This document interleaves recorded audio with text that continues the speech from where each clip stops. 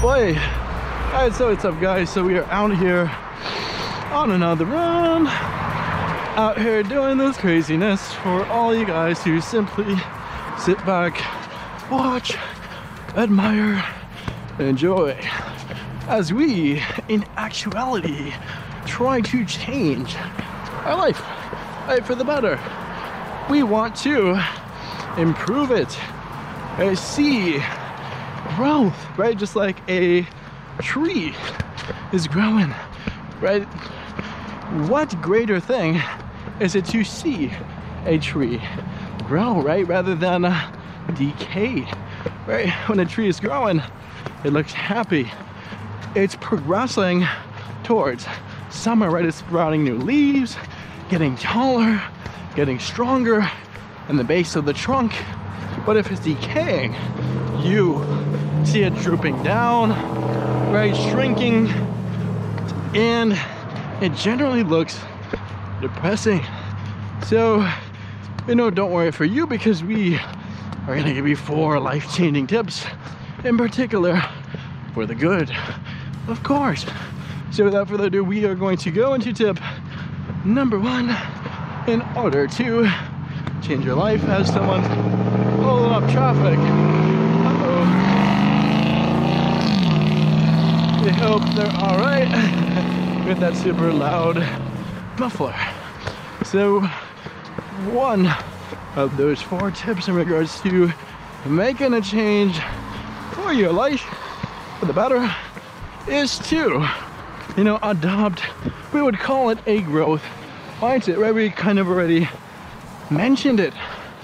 And what a growth mindset entails is a mindset that is focused on getting better, right? For the simple act, you know, of doing so. Not, you know, necessarily after these certain milestones, accolades, accreditations, rewards, pats on the back although this may seem, you know, awesome, they may feel great, offer you huge hits of dopamine when you obtain them, right? But in essence, a growth mindset has you not to be so worried about it. It's just a byproduct of what you do. And in fact, love to do. Right? Because if you love the growth, you are loving what you're doing, right? It's not so much about getting caught up in the successes and the failures, right? Trying to always win and be obsessed with it, feel empty when you don't because the shocking truth, the reality is that we can't win all the time. All you can do, as far as what you can control, is whether or not you show up. And that is tip number two, right? because you can't so much worry about the things that you can't control, right? Those aspects, you know, of your genetics, right, your looks, so much particular, right? All those aspects of that that you can change. But in essence, think about those that you can't, right? Like your age, where you were born, right? Your upbringing. A lot of those are outside your control. And all you can do is, you know, regulate how, you know, you let it affect you, how you rise above. If, you know, you think it's, I would say, disadvantaged or unfortunate, right? Someone may bury you into the ground, kick you, trip you, make you fall on your face, right? That was their decision. But in the end of the day, all you can do is control how you get up, right? Once it ha happens, right? Because we may be able to help prevent it, but if the bad, you know, has already been done to us, all we can do is control how, you know, we get up and how it affects us. So that mindset is going to come into play, right? Because our life isn't perfect, right? It's not all sunshine and rainbows, right? There's thunderstorms and hurricanes and tornadoes and, you know, car accidents, right? Just disasters. That's all a natural part of life. And what you have to realize is that it's okay, right? Part of the beauty of life isn't so much about the goodness of it, right? The beautiful, shiny new things, awesome houses, beautiful cars, all of it's great. But what makes life so awesome, so beautiful, is in fact the negative aspects of it, right? That's tip number three, is the yin yang balance, right?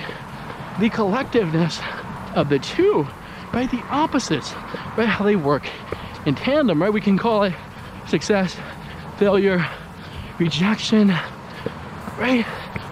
Losing, winning, it all makes a beauty of our life, right? Because you can't have, let's say, a basketball league where everybody wins, where you're gonna have winners and losers. And that's what makes the beauty of winning all the better. But even too, if you think about it, the losing is going to get you more towards the winning. And if you win too much, you have to be careful before you let yourself start losing. It actually makes it easier because the winning can get to your head, make you want to try less, right? So thinking about the nature of the opposites, rather than getting caught up in one side of the argument, the issue, right? As far as, you know, the side, you know, we could say going to school or, go, or not going to school, right? Those opposites. Deciding to feel happy today versus, you know, deciding to let, you know, bad occurrences happen to you. But even if you don't decide to feel the happiest today, you can let that darkness motivate you and push you. Right? Because if you want the happiness all the time, you, you know, may want to pursue vices and drugs, right?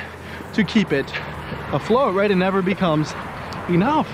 So having that natural balance, that yin and yang, being okay with being happy and being sad and feeling all right, feeling calm, feeling anxious throughout whatever emotions you go through, that, you know, contentness throughout it all is going to make your life change drastically for the better, right? Because so many people may say that they want happiness, but they don't realize that sadness, that failure, that, you know, upset is actually good for them, right? It's a natural part of life.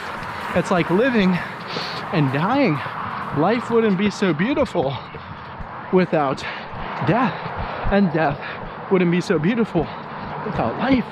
People may view death as something very dark, but death can be beautiful, right? It's a like a ceremonial closing of the book of your life. Right? You can't imagine your life lasting forever.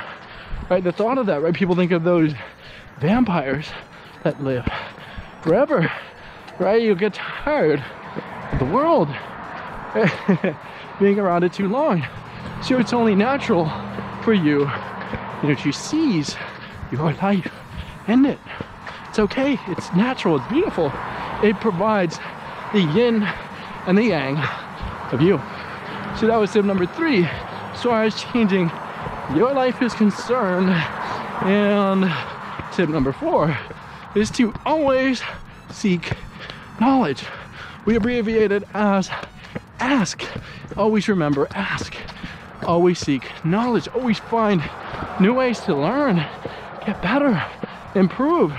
Right? You don't, you know, stop becoming the student when the bell rings and class is dismissed you don't sit around and become a vegetable. At least we hope you don't. Right? Because you are always constantly exposed to new stimuli, new information, new experiences. Right? If you don't want to open up a book, you are going to learn by being out in the world and experiencing it firsthand, which can arguably be better than reading in the first place.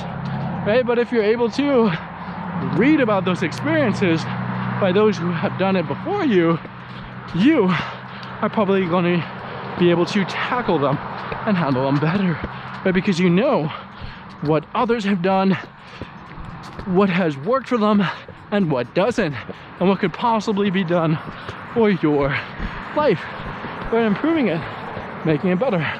So that tip in and of itself, using the experiences, knowledge, know-how of other people is only going to set you forward. It doesn't only come through that knowledge from books and experiences, but also, you know, getting a coach, a cool set of friends that are going to keep you uh, going, keep you moving forward.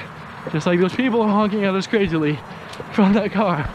So essentially what it boils down to is being, you know, in that mindset of learning. Always, you're always a student. You're never too good, you know, to be in that position.